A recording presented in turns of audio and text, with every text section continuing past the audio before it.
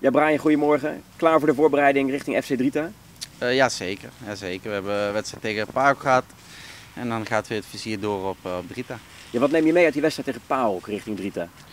Nou ja, weet je, de, de intensiteit waarmee wij de eerste helft speelden was gewoon prima. Uh, druk zetten vooruit was goed. Alleen de, de slordigheden in, in, in balbezit op cruciale plekken, ja, dat, dat moet eruit. Maar verder wel uh, vond ik het nog niet eens zo slecht. Als je kijkt naar die vorige wedstrijd tegen Drita, zij, zij groeven zich er echt in. Hè?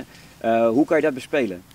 Ja, uh, hoe kan je dat bespelen? Je moet natuurlijk meer kans krijgen. Alleen het is heel erg moeilijk om, om heel veel kansen bij elkaar te voetballen tegen een team wat, wat soms met negen man in hun eigen 16 meter staat. Alleen als je een eerste, eerste of tweede kans binnenschiet, dan, dan wordt het zelfvertrouwen van hen ook wel wat minder.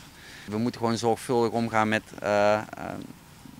de ballen die daar gaat inspelen door het midden, dat, je, dat ze hun niet kunnen loeren op, uh, op de counter. En, uh, ja, en wat meer uh, beweging misschien voor de goal en voorin. We zagen ook tegen Pauk zagen we jou nog op de lat schieten. Zijn dat ook dingen die vaker zouden moeten tegen Drita om uit de tweede lijn de keeper te testen? ja, maar dat, dat is natuurlijk wel, ook dat is moeilijker. bijvoorbeeld tegen Pauk sta ik tussen de linies en draai ik weg en schiet ik uiteindelijk op de lat tegen Drita waren geen linies. Eigenlijk. Het stond zo dicht op elkaar dat je daar eigenlijk heel weinig ruimte kan vinden. Uh, en dan zeg je, lopende mensen achter de verdediging, die moet je altijd hebben. Ook al staat het zo uh, compact en dicht op een eigen goal. Uh, maar ja, daar is ook weinig ruimte te vinden. Dus het is, het is heel erg krapjes overal. En ja, je moet heel erg geconcentreerd zijn om, om daar een gaatje te vinden. De verwachting is dat ze dat weer gaan doen, dat ingraven. Uh, op de training, trainen jullie daar dan ook specifiek op? Er wordt wel besproken van oké, waar, uh, waar liggen onze kansen, waar moeten we meer uithalen. En dat hebben we eigenlijk vrijdag gelijk na de wedstrijd hebben we ook weer beelden gekeken. En daar zag je ook dat we ook op, op cruciale fases ook gewoon slordig waren. in de eindpaas of, of voor de goal bij een kans.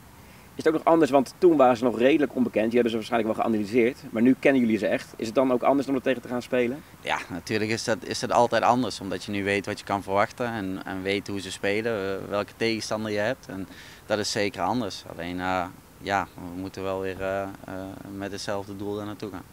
Straks in, in de Kuip natuurlijk eigen huis. hoe is het vertrouwen? Nou, vertrouwen is goed. We, we weten dat we, wat we moeten doen en we weten ook dat we het kunnen. En we hebben in principe ook tegen Drita eigenlijk alleen maar op hun helft gespeeld.